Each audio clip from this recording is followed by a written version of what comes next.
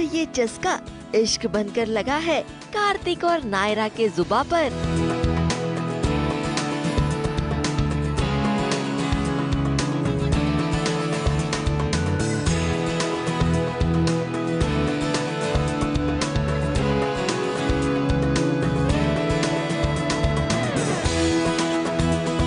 गर्मियों के सीज़न में कार्तिक और नायरा आम की टोकरी लेकर बैठे हैं। आम का मज़ा लेने, लेकिन ये आम खाने का सिलसिला कब रोमांटिक हो गया, ये उन्हें खुद भी नहीं पता चला।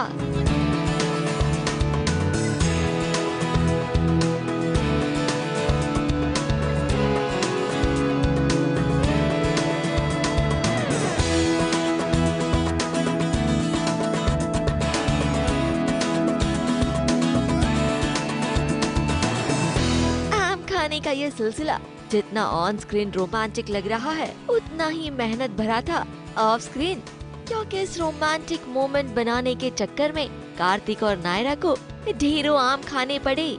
उसके बाद इसी रोमांटिक मूड के बीच नायरा को कार्तिक पर थोड़ा सा पानी फेंकना था। लेकिन सीन के दौरान एक जगह नायरा ने कार्तिक पर मानो पूरा जग ही उड़ेल दिया हो।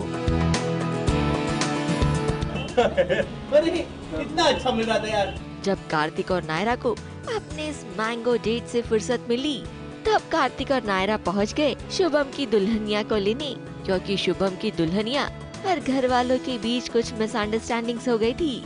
इसीलिए कार्तिक और नायरा खुद गए और सुहाना को घर लेकर आए और उसके बाद फिर एक बार हैप्पी फैमिली वाला नज़ारा हमें यहाँ देखने मिला। हाँ कार्तिक और नायरा घर तो लेके आए, लेकिन उनका अलग प्लान है एक। और उन्हें नहीं पता है कि मेरा अलग प्लान चल रहा है मेरे दिमाग में। वो इसलिए लेके आए हैं ताकि वो मुझे एक्सपोज कर सके और मैं इसलिए आई हूँ ताकि मैं उनकी बैंड बचा सकूँ। कार्तिक और नायरा, जो सुहाना को खुद घर ले आए हैं वो ही सुहाना को जल्द ही इस घर से बाहर भी निकालेंगे, क्योंकि यही दोनों जासूस है जो सुहाना की सच्चाई सबके सामने ले आएँगे। और फिर शुभम के लिए ढूंढी जाएगी कोई नई दुल्हनिया, और फिर नए रिश्ते की तलाश में दिखेगा सीरियल का टाइटल, ये रिश्ता क्या कहलाता है?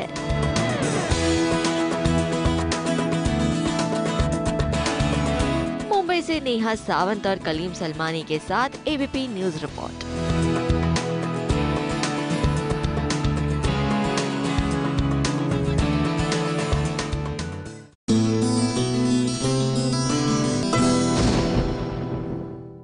हर खबर की लेंगे खबर। मास्को स्ट्रोक में रात नौ बजे। ये है एबीपी न्यूज़ आपको रखे आगे।